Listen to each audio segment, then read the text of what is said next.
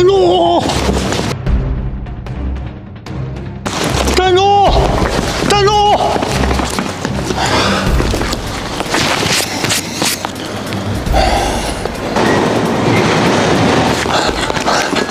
小伙子这是你的钱包谢谢你啊大叔来这几百块钱你拿着就当我是对你的感谢。不用不用这钱我不能要。哎大叔。你去哪儿？要不我开车送你吧？不用，小伙子，谢谢你的好意，这是我举手之劳。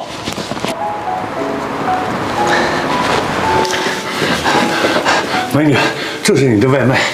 这都几点了才送过来，我都快饿死了。不好意思啊，刚才路上遇到小状况，这单要么就算我的吧。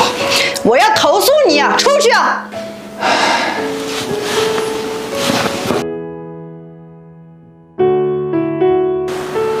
喂，经理啊，你被开除了，为什么呀？为什么？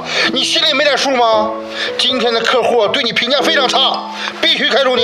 经理，你再给我一次机会吧。我不想听你再废话了，下午直接来办理离职手续。喂喂，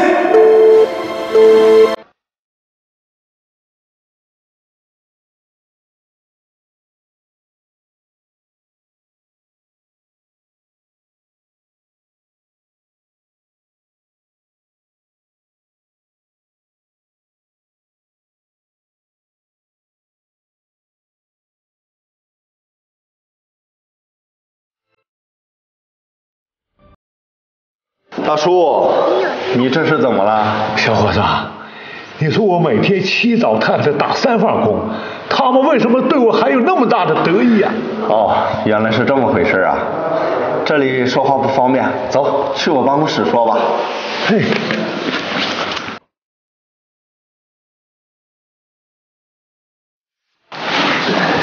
大叔啊，你都是因为帮我才惹上这样的麻烦的。如果你不嫌弃的话，我公司正在招保安，你可以来我这里工作，我会给你一份很不错的待遇。真的吗？